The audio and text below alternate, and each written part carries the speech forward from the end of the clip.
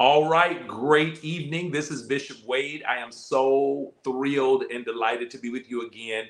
Uh, welcome back to Sunday Night Live. We're taking some time out to uh, share and investigate great leaders. And I'm just going to be honest with you. Y'all know me. I am so thrilled to have um, uh, my dear friend, Dr. Reginald Garmon, with us uh, all the way from Atlanta. Um, you know, he asked me earlier, he says, well, you know, what are the topics? And I, I just shared with him, I said, look, I, I gave a few things, but we have always worked so well together. Mm. And um, I, I, wrote something and it was just, just, just a few minutes ago, I just sat down and said, what, when I think of Reginald, what comes to mind? So Dr. Garmon, uh, and he'll share his church and all that. I just want to talk about him. He's a man of humility. I wrote this down. Humility, He's level headed and balanced. He's anointed, strategic, and he's a family man. And y'all know I'm all about family. And so, I, Dr. Garmon, it's such it's a thrill and a joy to have you. I'm so glad you're with me. Say hey to somebody. hello, hello, hello, um, Bishop. Thank you so much. First of all, um, for for having me here tonight on this platform. Um, thank you for being such a leader in the body of Christ. Um, thank you um, for the wonderful work that you're doing, um, leaders training leaders. Um, but mostly, thank you for being such a great friend and a brother. Um, I appreciate you, and you know I absolutely love your wife, Elder Marie. that's my sister, so I, I'm just blessed and delighted just to be able to share in this platform with you tonight. It's it's truly an honor. I I, I feel like um, I'm a uh, mosquito um, in the midst of a huge pond. It's just just so much wealth of wisdom that you have, and um, I'm just uh, I just want to gleam and pull from it. Y'all don't fall for that. Don't fall. Do not fall for that. Don't fall for that. Oh. look, Dr. Gar, you said it. You want to. I'm. A, let me tell the truth. We, we were we, a few years ago. We were having some kind of conference or something, but you were in town in in Panama City, uh-huh. and we were in my vehicle, and I think we were at the we were at a condo, and the officer said, uh, "We don't want nobody like parking here." And you, I was like, ain't nothing wrong with this part. You know, I'm just being me. And and you just tell me, say, Bishop, Bishop, Bishop. You just Bishop. do you remember that? do you I do remember, remember that. I do. You you said, Bishop, look, it the it, they just like my wife, he said, Bishop, just um, it's okay. It's, it's okay. okay. Let's just let's just follow. let's just follow. And I just calmed on down. I just think get on my nerves oh, that's so true. You know, and, and, I think that's why God put us here to uh, to bring a balance and a calmness to situations. So no, to me, great. to keep. I was just going to say the situation. I, I was not going to direct it towards you, but yeah, maybe, maybe that's why I'm in your life. Praise God. yes, that's one of many. But uh, y'all, y'all, I was like, I think I, I was teasing with my wife. I said I was reading the fruits of the spirit, and I'm like, I don't think I have all them fruits yet. I think all I might have one. I'm working on them. I'm working on them. So, but man, I'm so happy. I am so happy to have you. And there are many pastors that are watching, and ministers, and elders, and deacons, and um, we're just thrilled to have you. And one of the things that uh, Reginald I wanted to do was I wanted to uh, deal with seven principles. Mm-hmm. And as most people know, I've just built my entire life on these seven principles but I've been fascinated to investigate how others have done it. Oh, oh, don't move, don't move. It's right here, but I had to get it. Um, it came in today. Oh wow! Wait, it came in about what third? We we got home late. 30 minutes ago. It just got in. Wow. Look at it. Look at it. Look at it. Look at it. Wow. Oh my God. The oh book is in with colored pictures. Thank you. With colored pictures. There are colored pictures in there somewhere. Anyway, there you I just I love it. I love it. I come love All right. So I'm expecting my copy this week. this week, I need my copy. I know. I know. We're thrilled. She just hugged me, got all emotional. I'm just so thrilled. And um, mm. one of the things that I share with our congregation today is that whenever you encounter an attack or a tough time, uh, I wrote mm. the book so Marie could read it, but I wrote it another reason because I wanted people to see that you know serving god and building your life on seven basic principles you can survive anything and you can come out and you can live again and you can be restored and be revived and and really just just be the person who god has called you to be. And so that's why i'm thrilled that you're here. And so uh, i guess people are texting all over the place. I'm i'm thrilled. I'm thrilled. And so we're here because i want you to share uh, some of your principles, and we're going to go through all seven. I have another mm-hmm. staff, a group back there. They're typing in what you're saying, and they're responding to people, and we're mm-hmm. going to take questions at the end. So the first pillar, the first pillar, uh, there's seven, and the first is God, devotion.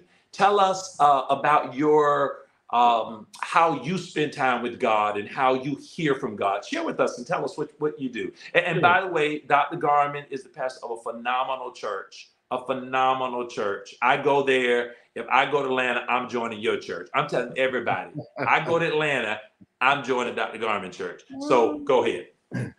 Oh, all right, Bishop. How much time do we have tonight? Because you know we can talk all night. How, how much time do we have tonight? I just need to know because we got seven principles that we need to cover. So look, we will figure it out. We eh, look, we go. You just take your time and it, it, we'll just have to do a part two down the road around the corner. You just take your time, whatever. I want you to bless us, whatever you got. Amen. Well, you know, personal devotion, as we all know, I think is critical. Um, I, I was raised in the church. I I've been in church all my life. My mother made sure that I went to church, but I knew I had to know God and not just know of God. Um, I needed to know him for myself. Yes. Um, I knew him through my mother, of course, through my pastor, but I needed to know him through myself. So just having an experience with God, uh, when I first decided that I was not just going to be um, just a church member, but I wanted a personal relationship with God. One of the first things God told me, He wanted me to spend time with Him in prayer early in the morning and that time in prayer. I remember, Bishop, going in my closet. I put a chair in my closet because a, a prophet came to church and the prophet said, I, I see a, a door, a mirrored door, and I see you spending time with God behind this mirrored door. Wow. He he's never been to my home, but my my closet door, sliding doors, they were mirrors. And so I knew immediately when he said that, that that was God calling me in literally into the closet. I so I put a chair in my closet and just spent Good God. time with God in prayer. My my my devotional life started with prayer. And then when I started pastoring, I realized that we should speak with God before we speak for God is is it's important that we speak with God mm. um, before we speak for God. So many times we call ourselves speaking um, for God, but we have not spoken to God. So I, I endeavored to make sure that I had a personal relationship. You know, the the Bible says, Paul said to Timothy, show yourself approved unto God. Yes. Not show yourself approved unto man, but show yourself approved unto God.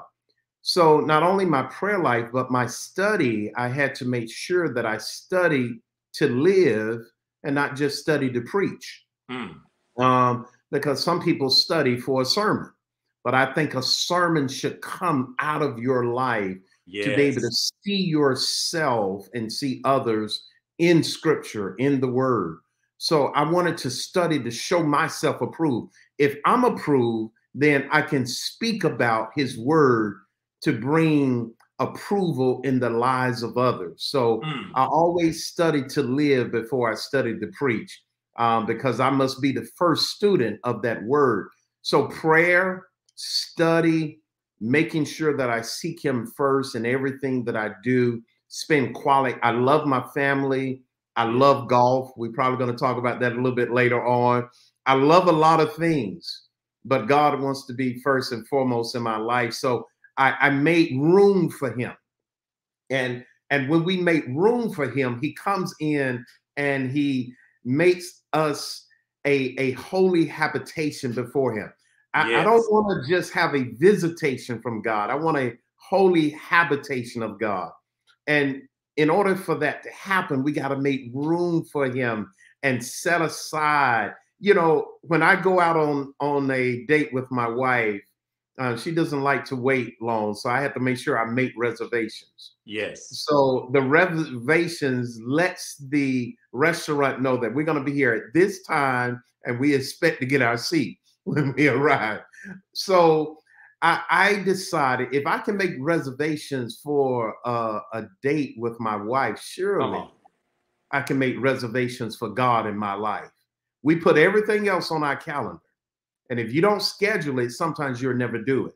So we make reservations with God to spend time with God, to sit down and sup with Him. Yes. As we um as we do with others. So that's that's my basically my personal devotion life. It's just making sure that I reserve time for him, special time for him in the morning, seeking him first, study to live instead of studying to preach, yes. and to make sure I speak with God before I speak for God. Man, I'm gonna tell you, you you right. I, I don't know how much time we got, but that's deep.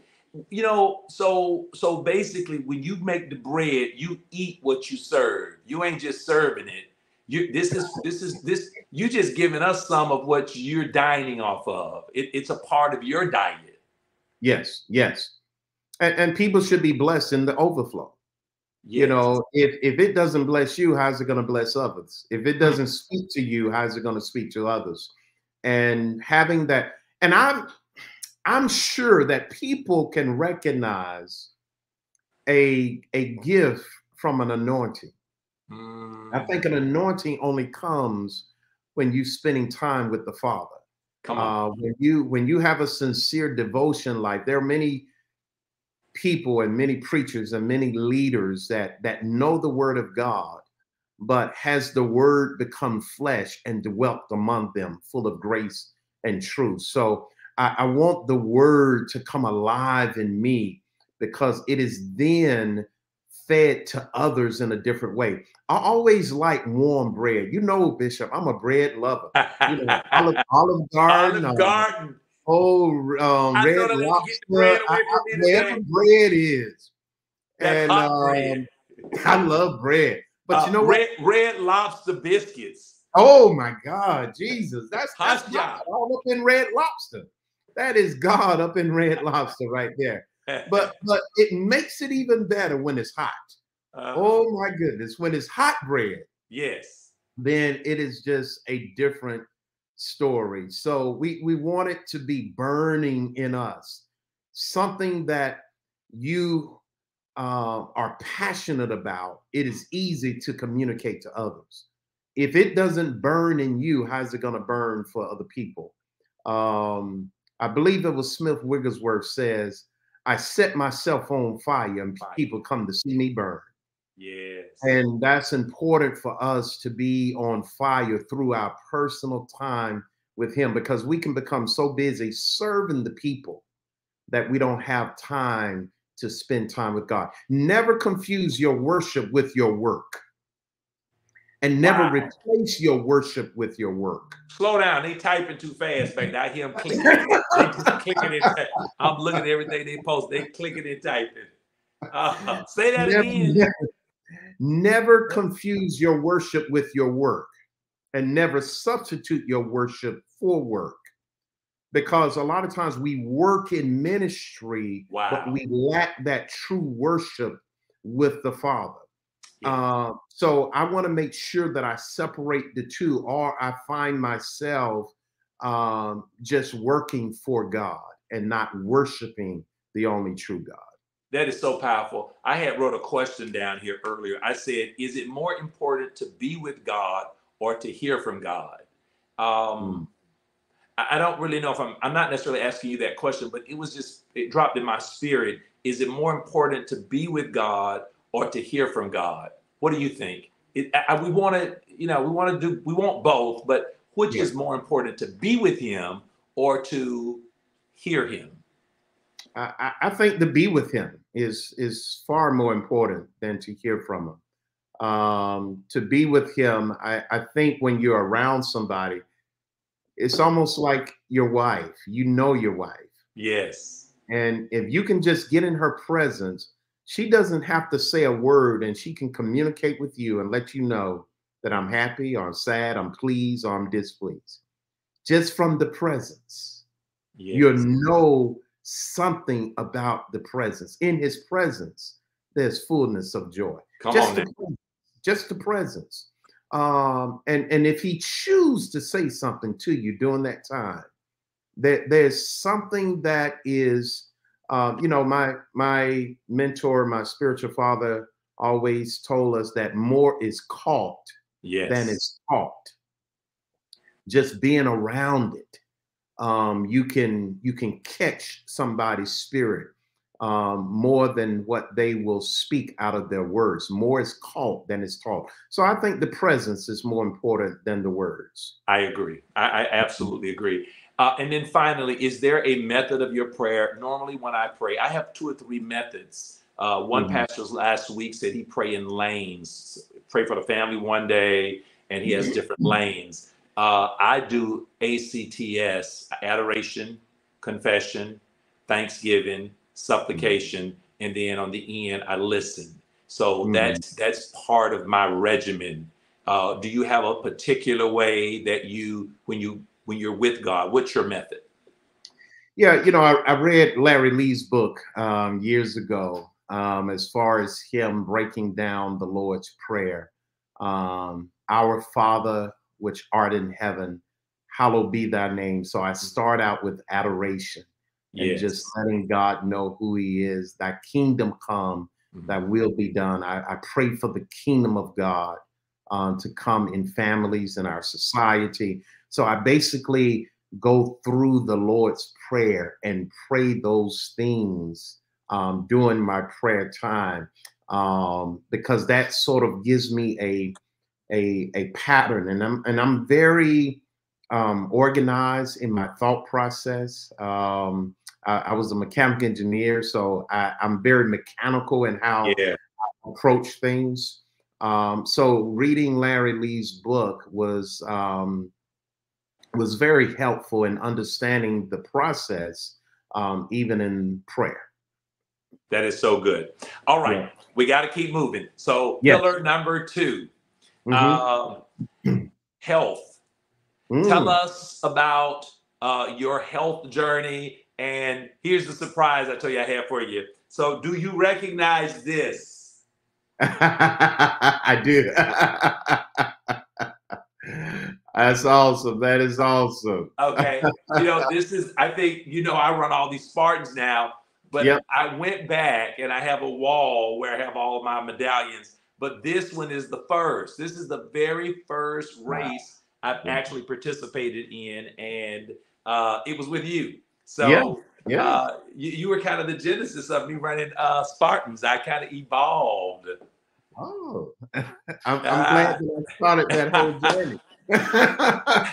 you you have evolved. You've definitely evolved, and you have eclipsed. Oh, come on! More than what I could do. So uh, health wise, yes, I um, I, I think my my my health goals are to exercise at least four times a week. Um, okay. 30 minutes, 30 minutes of exercise at least four times a week. That can include um, golfing, walking on the golf course, um, outside jogging, um, cycling. I may do 20, 30 miles of cycling. And um, that's how I get my exercise in to, to keep moving That's my weekly regimen um, of how I can make sure that I stay healthy so that I can fulfill God's purpose in the earth. Um, another health goal of mine is to get at least seven hours of sleep every day.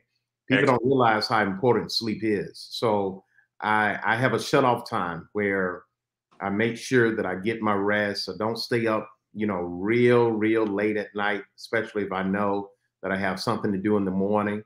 Um, drinking water. Um, I drink at least 64 ounces of water a day. That's something Excellent. that I try to incorporate.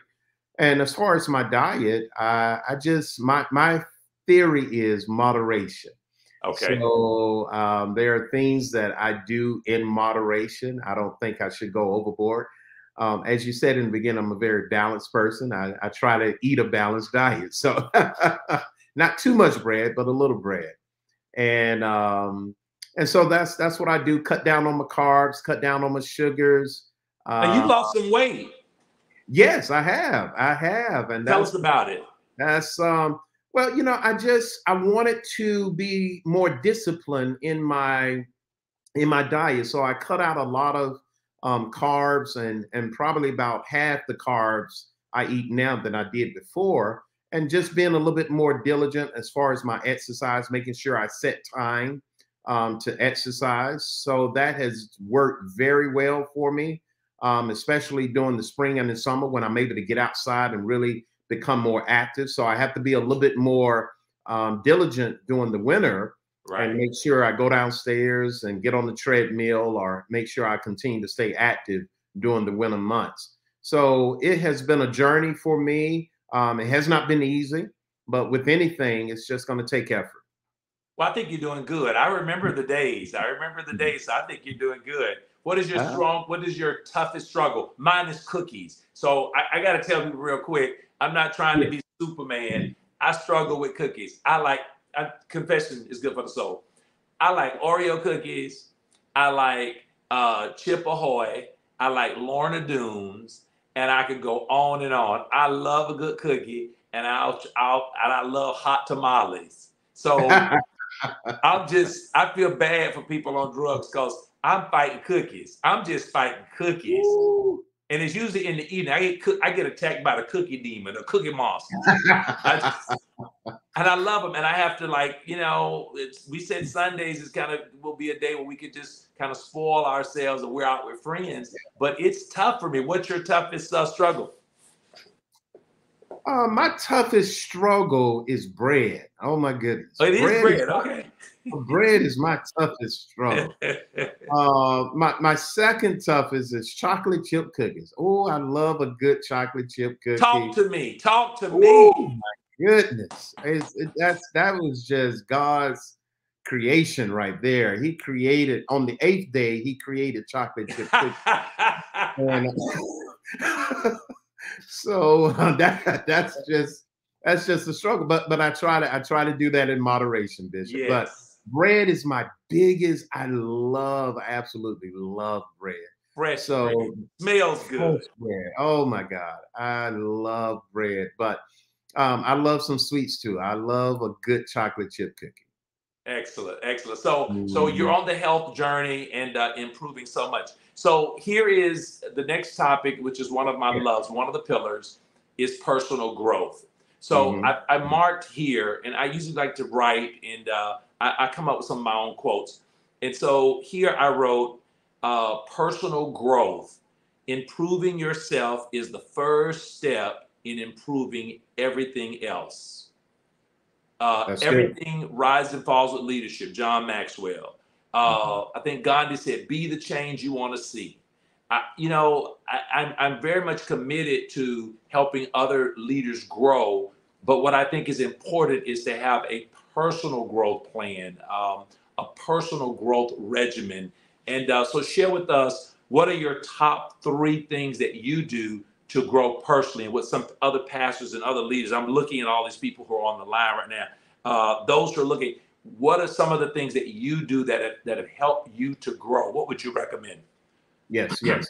And, and, and before I answer that, Bishop, let, let me just go back to health because I think this is a very important thing. And this is actually something that you inspired me to do. Um, once a year, I do a physical with my doctor. I think you need to have a physical, but you inspired me to at least go get my blood work done um, every six months so I know where my numbers are. Yes. So a lot of times we don't go to the doctor, we don't know where we are, we don't know where our numbers are. Yes. And I think that's so important for health. Now, personal growth. So that that was something that I learned that helped me to grow personally. And, and so my my first thing is I surround myself with people that are wiser than myself. Mm. You know, I believe when you surround your people with wise men and wise women, um, and you endeavor to spend time with them. So my my goal is to at least once a week have a conversation with someone that I can glean from. I can glean from. And so just calling that person and we share things with them that helps me to grow. Um, take them out to lunch. Sometimes I take them out to lunch just to sit down and be able to glean from these wise women and men of God That's so that I can personally grow. If you're the smartest person in the room, the room is too small. Ah. Okay. If you're the smartest person in the room, the mm. room is too small. So you you have to get around people that will stretch you, that will put your life in tension. Every bit of growth comes from tension. If you want to grow muscles, you got to put your muscles in tension. You got to surround yourself with people that are not just drunk on your success or drunk on your anointing, but people that can put your life in tension and that will stress you. So I look for those people because those people make you uncomfortable. Those people challenge you. Those people. So I, I have some people such as yourself that will challenge me to say, hey, uh, Dr. Garmon, you need to stop drinking milk. Okay. So you came and told me about some pulse in milk. That challenged me. Milk has pus yes, yes, that challenged me. So now I'm on almond milk. I can't tell you when I've had regular milk before. But if it wasn't for that challenge yes. and that tension that you put me under, um, I would not have grown. So personal growth has everything to do with relationships. Y- yes, yes, yes. Finding those relationships, honoring those relationships, spending time, whether it's on the phone, whether it's going to lunch, I cannot tell you how much I've grown just through the relationships in my life. That's the first thing. The second thing is I continue to take classes. I, I have three degrees, but I'm continuing to learn and take classes. Yes. And, and I think that's the only way that I'm going to grow because um, the room of improvement is the biggest room that you can ever be in. So I want to make sure that I continue to learn. Wait, wait, wait, wait, wait. Say that again. the, the the room of improvement is the biggest room you can be in. The room of improvement. So we we all can improve in some way. Wow. Okay. And so we must be um in wow. this room where that we can grow and that we can improve um, I have not arrived, even though I have three degrees, I have not arrived. I'm continuing to learn and to grow and to take classes and to go to seminars and to go to conferences. And I think that's how we continue to grow as a person. And the third thing is leaders are readers. Leaders are readers. And so the books that you read, there, there are three things that change your life the experiences you have, the people you meet, and the books that you read. Those uh-huh. three things would change your life. The experiences that you have, the people you meet, and the books that you read. Those three things. Mama. So um, I'm always interested and I get recommendations because I'm I'm just not a natural lover of reading. I'm not. I read because I have a passion and desire for growth. So now we got audiobooks, and I love that. That was that. That's what God created on the ninth day. He created audiobooks. on the eighth day, He created chocolate chip cookies. On the ninth day, He created audio cookies while you listen to Audible and drink almond milk. oh yes, yes. So so as you're driving, I, I have a 30 minute commute to um to the office. So as I'm driving to the office, I'm I'm playing audiobooks in the car and I'm growing as I'm driving. And and so those are the three things that that I do in order for my personal growth to continue. Well, it's like you're in school. You're you're constantly learning. I think a lot of people, when they finish their academic education and get their Yeah. degree, they stop learning. They stop growing. And anything that does not grow, it dies. I mean, anything of true value has to continue to grow. And Yeah, I think yeah. I think that may be the true essence of life is growth. Heaven, we want to go to heaven, but if heaven was really the the end all, we would just get saved and then die and go to heaven. There's a work to do here, and in order to do it, we have to create capacity and have the ability, give God something He can work with. I think that's Exactly. a, good way to say it. I love this because you know I've I've been I've gotten into audibles lately. I love reading, and uh, Mhm. I have a love hate relationship with reading. But uh, particularly if I'm reading something I'm interested in, but audibles have really been a, a huge thing for me in the past year or two. I just pop on an audible and podcasts. Podcasts Mm. are amazing because you get real time information of what's going on in the society at that time. So I love the I love the audibles. I got too many. And but I found podcasts are also connected, and many of those podcasts are free. Exactly, exactly. And it's it's concentrated too. So you get a lot of information in a short period of time. Yeah, yeah, I, I love the book reading. I, I wrote this down. Stay uncomfortable so the people you love can be comfortable. Oh, that's good. Maria good. and I, we were in the car, and she was like, Yeah. "Look, say that again, say that again, Bishop, say that again." I was like, I was like, I say it is important that I stay uncomfortable so that the people around me can be comfortable. But they cannot just allow me to think that way. Anyone in a growing relationship, in a relationship that is uh, prosperous and developing and, and has that that growth sensation, each person must adopt that same philosophy. So I had I was Mhm. teasing with her about marriage. I said there are things I do in our marriage that it makes me uncomfortable. I mean, some days I don't maybe want to cut the yard, but I know how much you like me in my shorts when I cut the yard. She liked to see me in my shorts when I cut the yard. So I'm a little uncomfortable on a hot day, but I do it because it makes the one I love comfortable. Right. But right. with her, she does things around the house. Maybe she washed the dishes. She don't want to wash my dish that day, mm-hmm. but she Mhm. does it, and it may be a little uncomfortable compared to other things. But mm-hmm. because she's mm-hmm. uncomfortable, it makes everyone around her comfortable. And that's how you create a, a phenomenal relationship because everyone around each other is saying, okay, I'm going to be a little uncomfortable because if I do, then I'm going to create comfort for those around me. That's good. That's good, Bishop. Yes.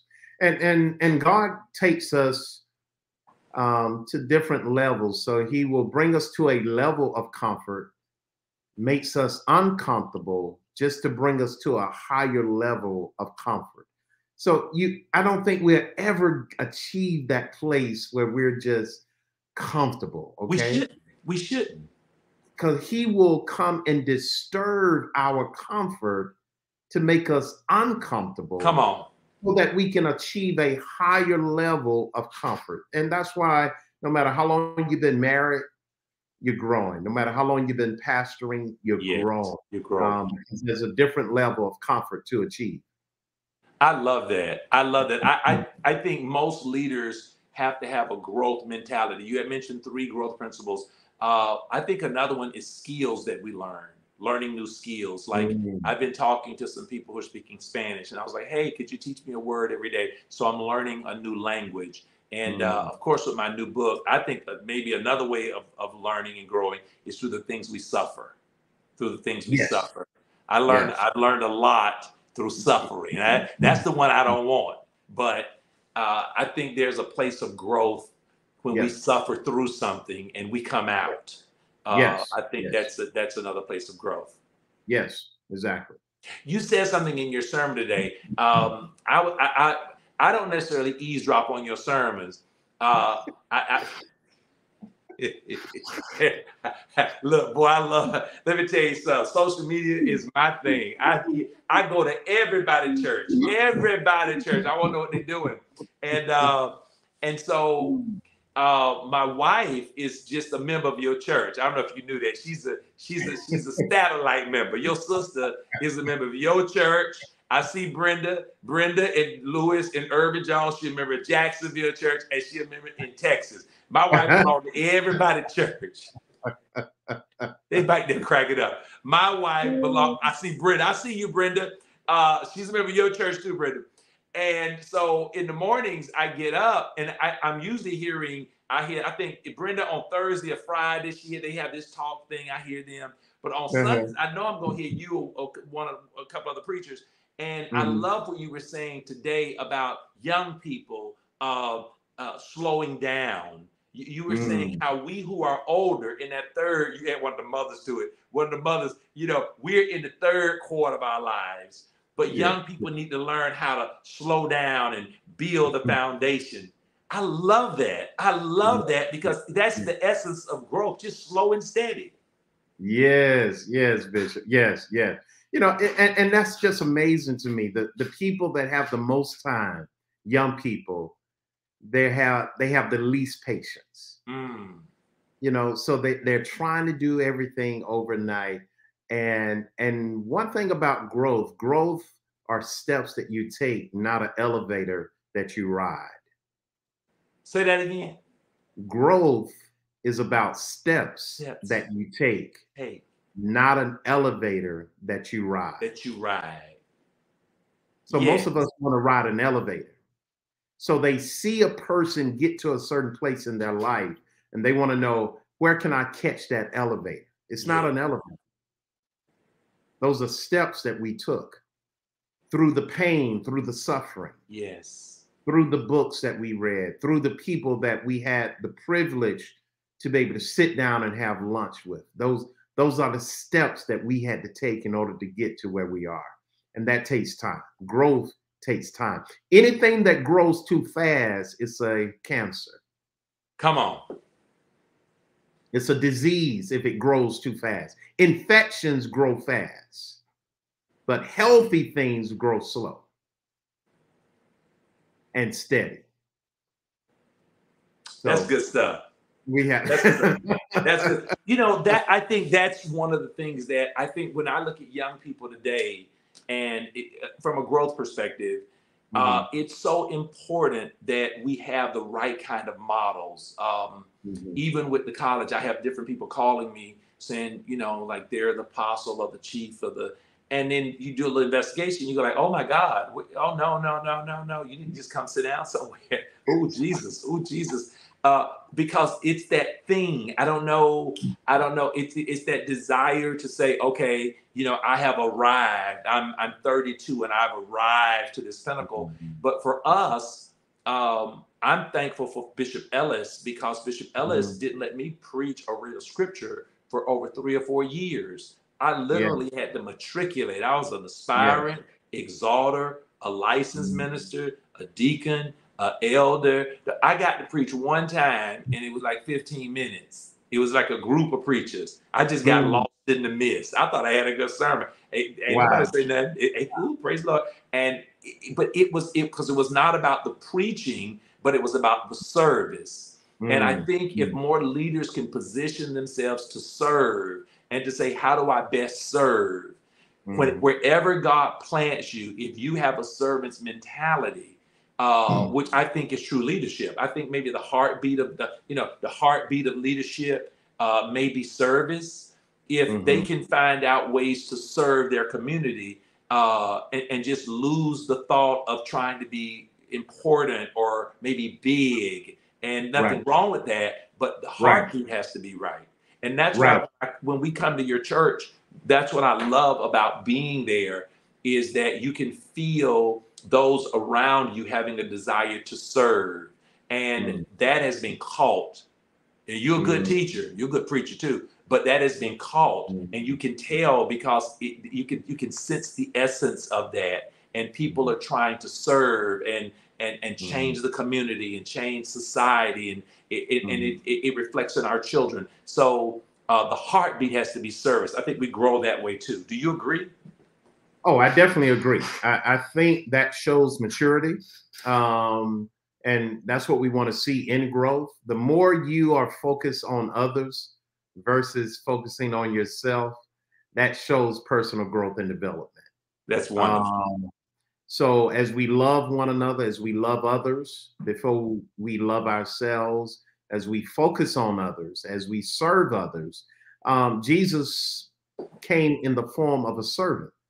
And, and so as we humble ourselves and we become a little bit more concerned about others and what they are going through and how we can be a blessing to them, I think that shows our personal growth and development.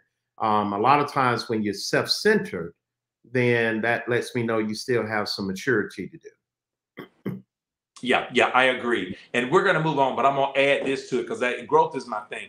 Um, I have what I call my daily battle plan. I have Mm. I build a daily battle plan every day, so I know what time I'm going to bed. Like tonight, yeah, I'm gonna start yawning. I, I got a little time, but I know what time I'm going to bed. I know what time I got to wake up, and in between that, I build a battle plan throughout the entire day, and that Mm. really helps me stay on target. And uh, I think Mhm. that's powerful. All right, number number four. We're almost there. Yeah. Number four. Number four is marriage. Marriage. Um, I look. That's a, is that is not that like a weak topic? I think you and I could stay here a whole week and talk about marriage. How many years have you been married now? How many? 29 years. 29 years. 29 years.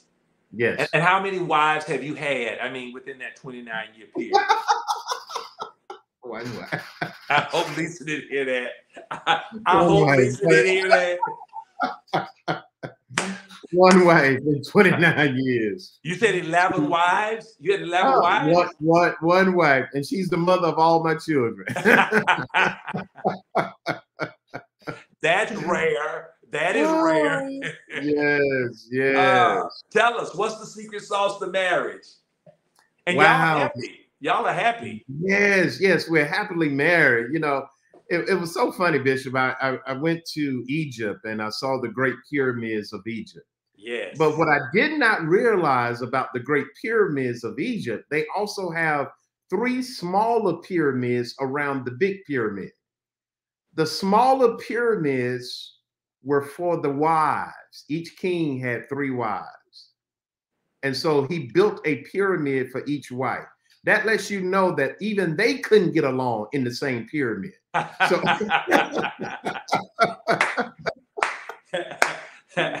Oh, but, I- I think I think the secret to 29 years, first of all, we love each other. We're high school sweethearts. yes. Um, we understand each other. We we appreciate each other. We accept each other, and we make sure that we um, focus on one another. And I had to learn how not to try to make my wife just like me.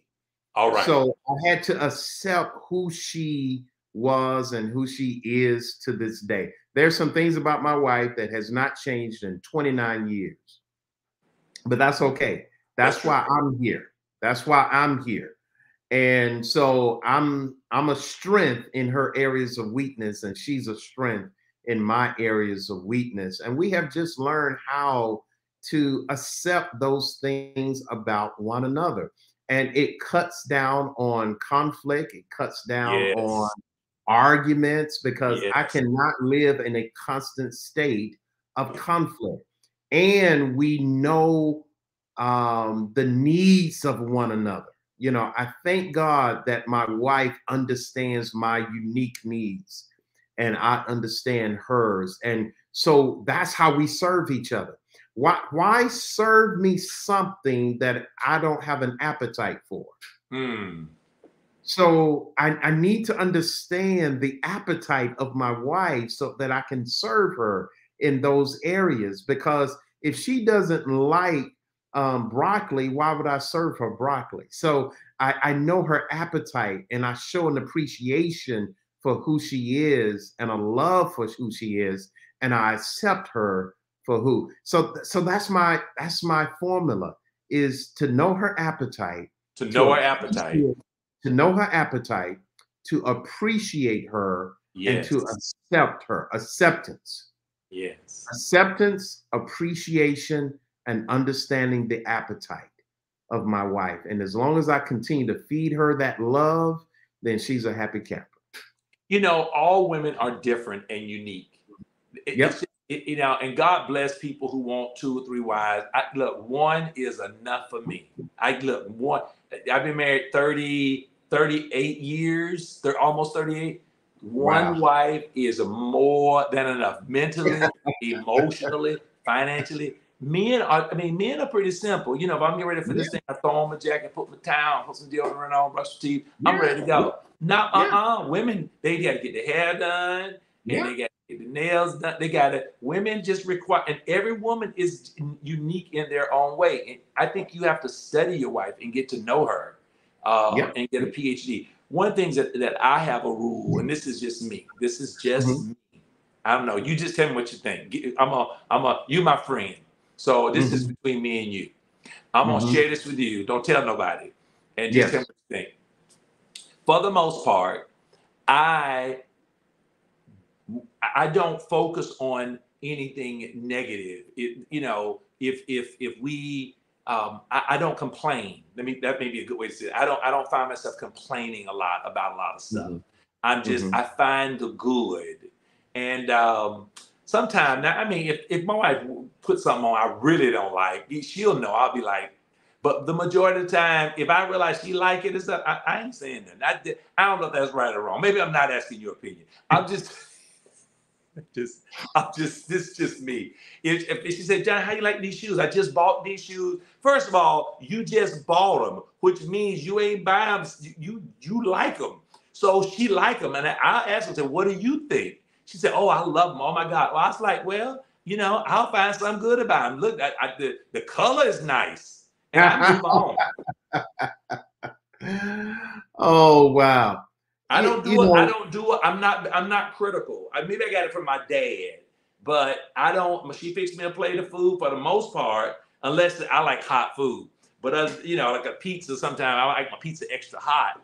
But mm-hmm, for the most mm-hmm. part, I just I'm thankful, baby. Thank you for ironing my clothes, baby. Thank you for picking the towel for me. I show, mm-hmm. baby. Thank you. I just that's I do a lot of that. I do a lot of mm-hmm. thank you. I appreciate you. Oh, I'm just so grateful. You know, and then every now and then I'll slip or something. But I, you know, what do you think? You know, I, I, think that's good. I think that's always a, a, a, positive thing. But when when you've been with someone for what 38 years, you you probably can say those things, but she kind of know whether you like it or not. I, I've tried that approach, Bishop, and I was like, yes, you know, that's a pretty color. And you don't say it right. You, I don't say it right. No, my wife looks at me like, you don't like it. You don't like it. And uh, how do you say it? How to say what you just said? I say, you know what? That's a pretty color. Maybe it's the lack of excitement in my voice. Maybe you that's.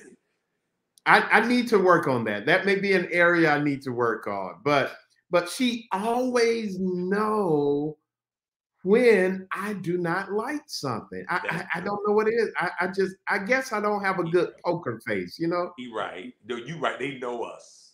you right. They do know us. They do. But you know, I, I love being married. I love spending time with my, my my wife truly is my best friend. And I think that's important in marriage is to have someone that not only supports you in ministry, um, because she she definitely supports the ministry. I don't know if I can do ministry without her, but but she's truly um, my best friend to be able to open up and and she knows everything about me. She knows my my victories and my scars, and I think that's important. And she also is there to cover me. Uh, she um, love covers, and and I think when when I'm I'm hurting or when something is going on, my wife is there to cover me, and that's that's very comforting um, especially when you're a leader, because sometimes you can feel all alone That's as true. a leader. And, and you need someone that is there that that knows what you go through because you can talk to your wife about almost anything and and she's not going to um, use those things against you in the future. Um, I like to say this: it's important that you don't shoot your spouse with the bullets they gave you. Wow. And, um, and so I think it's wow. important because confidentiality is the hallmark of friendship. Wow. And so you got to take those things that they share with you and open up to you, and you got to put them in your heart and cover them. And that's what love does. Love covers. And so many times we don't open up to people that love us because we are afraid they're going to use it against us in the future. But it's not for um, ammunition, it is for understanding. Anything that I share with her or she shares with me is for understanding. It's not ammunition. It is not to to to hurt them or to win the argument. So I really do appreciate that about us in these 29 years. We she knows more about me. I know more about her than anyone would ever know. And um, she's there to encourage me and to cover me. I love that. You know, I'm gonna tell you like this. This, this here's the truth. Uh, we've done marriage retreats together, and yes. we've had we've had a great time. We don't do enough. I don't know how we're gonna figure this out, but it's just you know there's certain people you just get into a flow with. I told my wife, I said whenever Gar and I get together, we, you know, we, and, and, Lisa and Marie, we like magnify, we 10x stuff. You know what I'm saying? Yeah. We just, yeah. it is a magnification. You got yeah. hydrogen over here and oxygen over here. We come together, boy, it's water everywhere. Yes, and, um, yes. Love we just, it. we need to do more marriage stuff because I'm telling you, I, I, I almost gave up on doing marriage retreats because it used to be where people would come and they want to just complain and throw off on their spouses. And I told my wife, I said, forget it. I'm taking them all on a six mile Spartan run through the mud. We're gonna make them jump over stuff, and the wife stuck on the wall, can't get off, and the husband got to figure out how to help her and help himself. And I ain't doing nothing but looking at her. Get her, catch her. Here she come.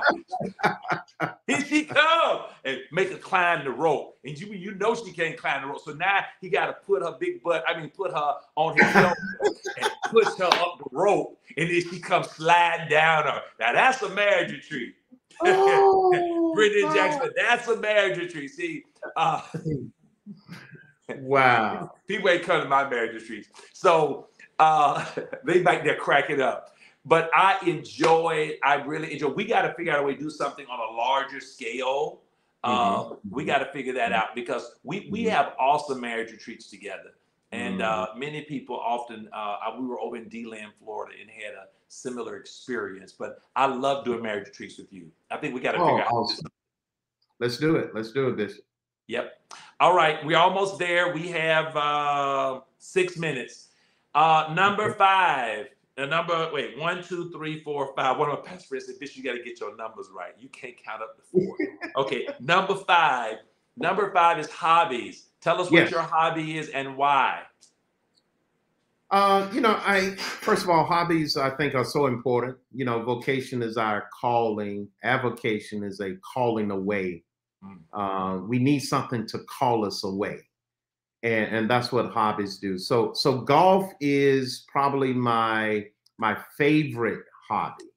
Okay. Is, is playing golf, and and the reason I play golf is because I love being out in nature, and um, I just love the exercise of walking the course, and you can always. It seems like a new game every time you play it because it's a new course, it's a new scenery, it's new challenges. Mm. I can never get bored with golf.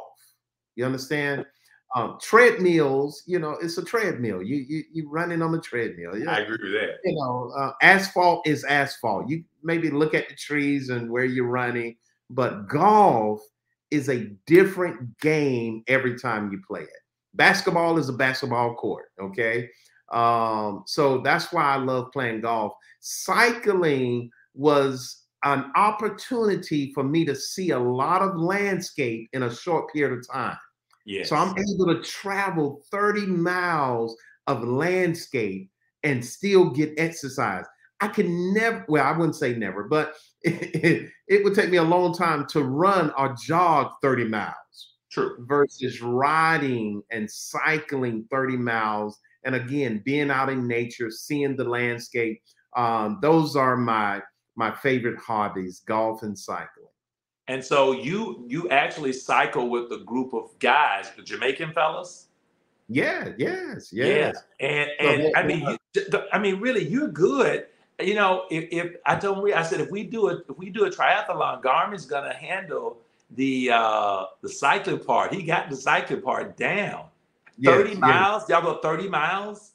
30 miles is is a typical. Um, I've been as far as 63 miles on a cycling trip, and and that was very tough. Um, but it was it was one of the goals that I had. I was actually doing a ride with again a mentor. So I have a mentor in cycling, Excellent. and he's a he's a member of my church, and he used to cycle professionally. So every time he goes out, he does at least 70 miles every time he rides. So um, one day I rode with him. I told him I was going to ride with him. Good and um, he he challenged me. So he pushed me those 63 miles. But it's it's good when you're riding with people because you can yes. stop and you can fellowship, and um, it's just a wonderful time. All right. Well, I, am going to take a golfing course just so I can hang out with you and keep up. Yes, yes, definitely, definitely. Okay, last one. I'm going to combine number six and seven. Uh, okay. Six is your entrepreneurial ideas and adventures that you're working on right now and sure. then close it with finances to give us some wisdom on finances. Okay, entrepreneur. You know, I've always believed that we need at least four streams of income. Um, it was four rivers that watered the Garden of Eden. And one of my entrepreneur, um, of course, you know, working at the church, but one of my entrepreneur um, things that I do is real estate. Real estate is part of my um, plan, um, my generational plan. Um, Excellent. These, these are homes that I plan to leave with my children and hopefully my children's children. So getting to real estate is a wonderful thing. Actually, that that is the first step to generational wealth is home ownership. Home Excellent. ownership. So you know, I always tell leaders, make sure you start out before you invest in stocks and bonds, you know, get your home, stop renting and start owning. Excellent. Stop renting and start owning. Home ownership home. the first step for generational wealth. Yes, sir. So um, real estate is one of my streams of income. And then of course the stock market, that's another stream of income um, with your finances, we just want to make sure that we um, live beneath our means. You know, that's where a lot of people get in trouble. They live above their means. So, what I instruct people to do, um, try to live on 70% of your income. Live on 70% of your income. Uh, 10%, of course, belongs to God. That's your tithe. Uh, 10% for you. And 10% for your future, your investments. Um, but learn to live on 70% of your income and always put your needs over your wants. Follow the now theory, N O W, needs over wants, needs over wants. I like that. Live beneath your means. And the third thing, get out of debt. Get out of yes, debt. Jesus. Is a structural evil um, to just steal, kill, and destroy. Mm. Um, so you want to get out of debt, be debt free, invest in your future, and um, have multiple streams of income in your life. You know, a borrower is a slave to the lender. And yes. Uh, I tell folk, when you owe them money, you ain't their friend no more. You a slave. And that's why, invite, that's why they don't invite you back to anything because you don't bring slaves to the table. mortgage is a death. Morgue. That's where we get the word morgue from. And you're dying paying mortgage. I know, I know. I heard there's an old Chinese proverb that says, uh, getting debt is like opening a faucet. Paying it Mhm. back is like getting water out of a pool using a teaspoon. I mean, Oh, it's something good. else. That's Well, well, Mr. Dr. Garmon, it's a joy Yeah. to have you with us. Um, Yes. Would you share with me? Uh, we're getting ready to close. Uh, I, I'm Mm-hmm. gonna go and give another plug about my book. I'm so thrilled. We got our book, y'all. Get the book Mhm. at Death's Door. Uh, get the book. I'm gonna plan at some point. I don't know. I told Maria, I said I need, I need to take two weeks off and like Yeah. plan a book tour and just go and just share the book and share the story. Because the book is designed to uh, really encourage people to live. You you don't have to die, even when you're at death's door. You can keep living. You can keep living. Dr. Garmon, would you uh, tell the folk where your church is located? Uh, so if they decide to come to Atlanta, they can go there first. That's the only place to go in Atlanta. Go there and uh, maybe one other place, one other place. But go go to Dr. Garmon. I'm talking about Bishop Bronner. But go you can go to Bishop Bronner, but go to both of them. Go to both of those. Everything else, don't ask me about. yes, so- yes. Um, what I'd like for you to do is tell us uh, the name of your church, and then would you close us out in prayer? We're so thankful that you took the time. I know you have a busy schedule, but I am Mhm. so thankful that you've been able to share uh, to the hundreds of people uh, who Yeah. are going to view this and are viewing it now. Um, just, just, just tell us about church, and then close us out in prayer. Amen. Amen. Well, um, I've been at Word of Faith Love Center, Word of Faith Love Center in East Point, Georgia, which is right outside of Atlanta, um, about 10 minutes away from the Atlanta airport um, for 17 years. 17 years. Before that, I was an executive and assistant pastor under Bishop Bronner at Word of Faith Cathedral. So you can just go to the website, WOFlovecenter.org, WOFlovecenter.org. And it's been a pleasure being with my bishop, my friend, my brother on this evening. Thank you so much. Thank you. We love you. And I see the information of how to get a copy of the book. So I'm glad. I'm going to Amazon.com tonight Oh, you can see it. My book. Oh, yeah, there it is. I'm going to Amazon.com. Go to Amazon.com tonight and order this book at Death's Door. Um, and and Bishop Wade wrote it, but Elder Marie lived it. So Yeah. uh, I'm sure it's anointed and appointed for such a time as this. Amen. Amen. Amen. Well, let me pray. Father, Lord, we just thank you so much, oh God, just Oh, for God. leaders that are here today. I thank you for filling them with all the wisdom and understanding that they need in order to go to another level. I pray that you will bless their life, bless their ministry, bless their families, oh God. May you fill them with strategies of how to win this world to you, God. I pray, Father, that you would take their personal growth and development to another level. Yes. Spend time with them, oh God. Fill them with your presence and allow the anointing of God to destroy yokes and move burdens. Lord, we pray for Bishop Wade and all that he's doing, oh Father, for leaders around the world. Give him, oh Lord, the grace to be able to do what you called him to do, Father. And we give you all glory, honor, and praise in Jesus' name. Jesus. Amen. Amen and amen. Amen. My brother, I love you. We you. appreciate you and uh, we're thankful. Look forward to us seeing each other in the days coming forth. Sounds good. Thank you, Bishop. God bless. God bless you.